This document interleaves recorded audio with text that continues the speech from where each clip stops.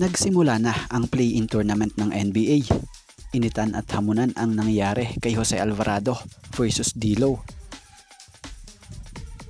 Grabing buhat ang ginawa ni Zion Williamson sa Pelicans. Naararo pa si Lebron, parang batang gumulong. Pero paano nga bang nagawang nanalo ng Lakers dito sa play-in tournament kontra dito sa Pelicans kung saan hawak ng Pelicans ang home court advantage sa play-in tournament na ito. Tara't ating sabay-sabay tunghayan. Laban ng Lakers kontra Pelicans sa play-in tournament.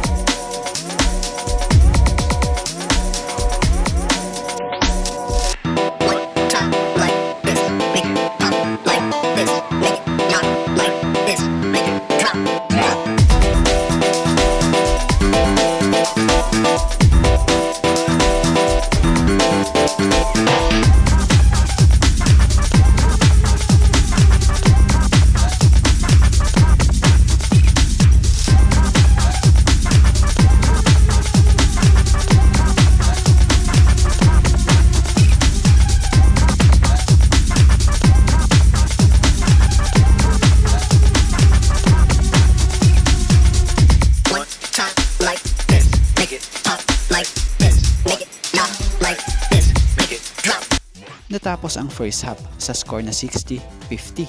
Hawak ng LA Lakers ang kalamangan dito sa New Orleans Pelicans.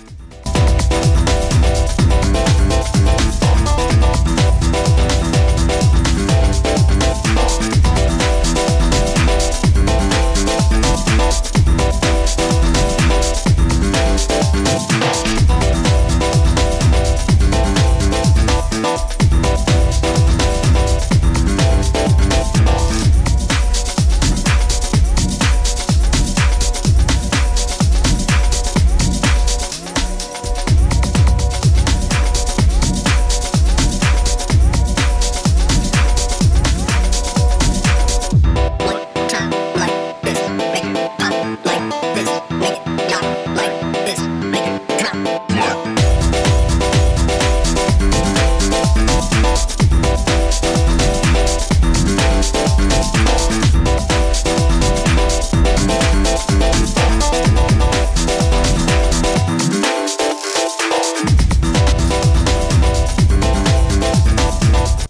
So natapos ang laro sa final score na 106-110.